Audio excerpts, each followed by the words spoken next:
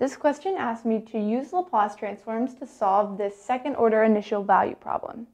So to do that, I just want to take the Laplace transform of each term and then solve for f of s. So let's start with y double prime.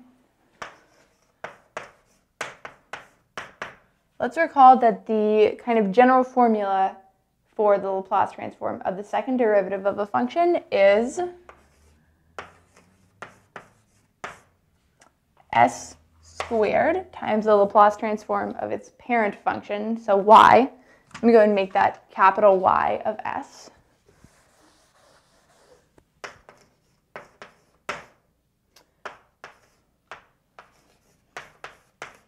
minus s times y of 0 minus y prime of 0.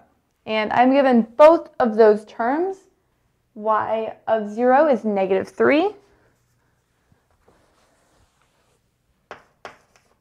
So it leaves me adding 3s, and y prime of 0 is 5, so I'm going to subtract 5.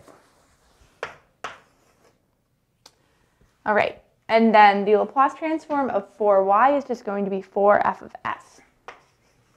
Excuse me, y of s. So let's go and plug these Laplace transforms into the equation.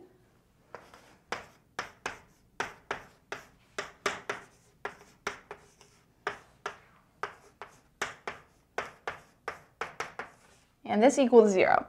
So I want to solve for y of s. Let's start by taking the terms that don't have a factor of y of s over to the other side.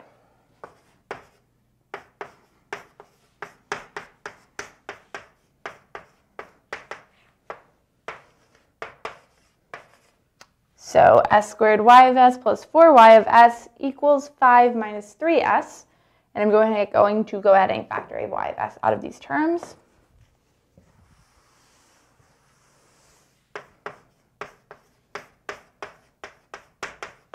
Which gives me y of s times s squared plus 4. And let's go ahead and divide both sides of the equation by s squared plus 4.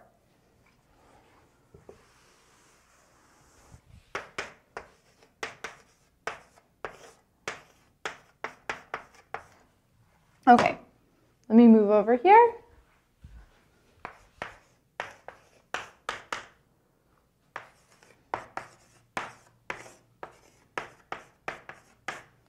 So a sum of squares in the denominator tips me off to the Laplace transforms of sine and cosine. Let's go ahead and recall those.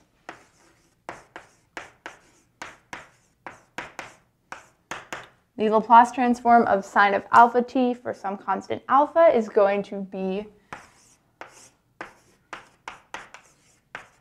alpha over s squared plus alpha squared. And then for cosine, for some constant cosine of beta t, I'm going to get s over s squared plus beta squared.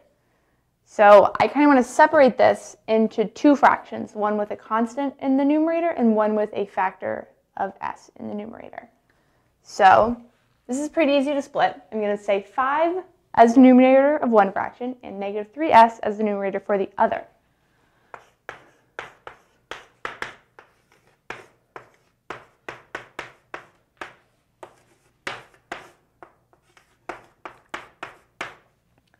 So this one is good to go. When I take its inverse Laplace transform, I'm going to get negative 3 cosine of 2t.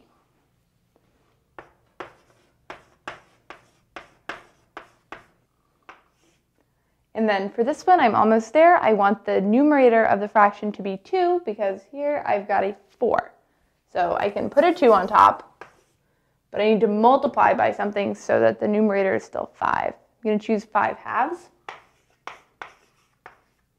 Right, so when I multiply, I actually get 5. That makes it a little easier to take the inverse Laplace transform. I have